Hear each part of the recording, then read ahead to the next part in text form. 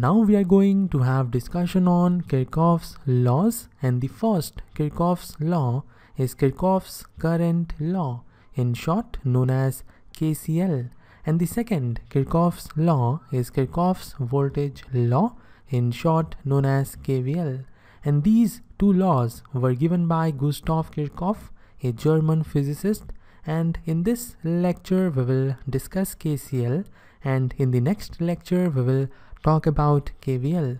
Now according to KCL, the algebraic sum of the currents entering any node is 0. Let's try to understand the meaning of this statement.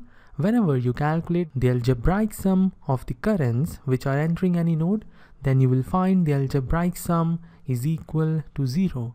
So what do we mean by algebraic sum? Algebraic sum is the aggregation of two or more quantities taken with regard to their sign. So here we are calculating the algebraic sum of the currents. This means we will calculate the sum of currents with their signs. And when you calculate the sum of currents with signs, you will find it is equal to zero at any node. Now you have to follow one convention According to the convention, the current which are entering or we can say the entering current will have the positive sign and the leaving currents will have the negative sign. So this is the convention we will follow in KCL and this convention is opposite in nodal analysis. But for now just remember this convention that the entering current will have the positive sign and the leaving current will have the negative sign. And I will take one example. In this example we are having this node and you can see that five currents are meeting at this node.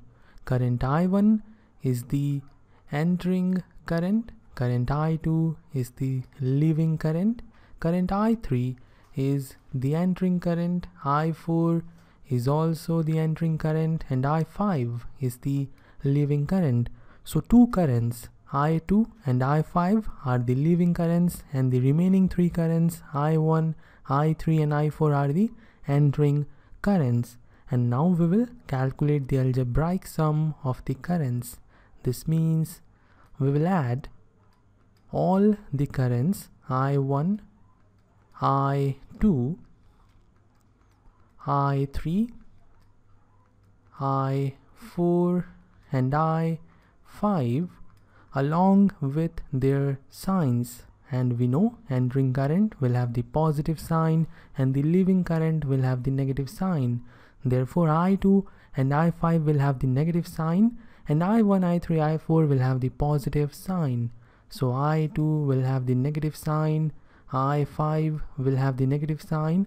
And when you calculate it you will get 0 or we can say current I1 plus current I3 plus current I4 is equal to I2 plus I5 so we can say that the sum of the sum of entering currents is equal to the sum of leaving currents.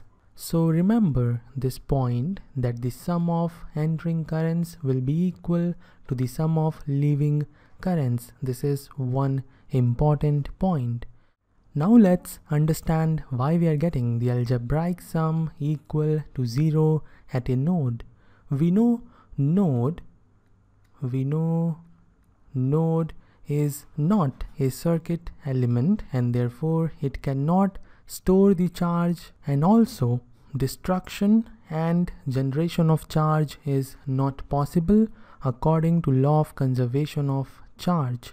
So this particular statement is based on law of conservation of charge plus the fact that node is not a circuit element.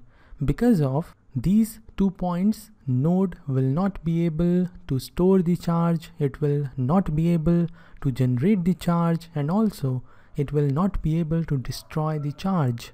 Now the current entering means the charges are entering and the number of charges entering to this node must be equal to the number of charges leaving the node. If the number of charges entering the number of charges entering is greater than the number of charges leaving this means the charge is getting stored at the node which is not possible. Therefore this thing is not valid.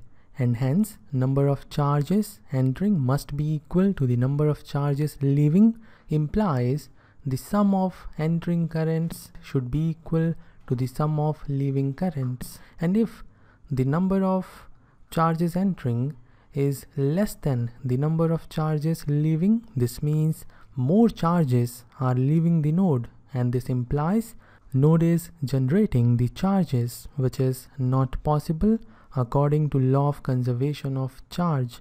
Therefore this particular scenario is also not possible and hence there is only one possibility that the number of charges entering the node will be exactly equal to the number of charges leaving the node and the movement of charge is current therefore we say that the sum of entering currents is equal to the sum of leaving currents which implies the algebraic sum of currents must be equal to 0. So I hope you now understand what is KCL and in the next lecture we will try to understand KVL.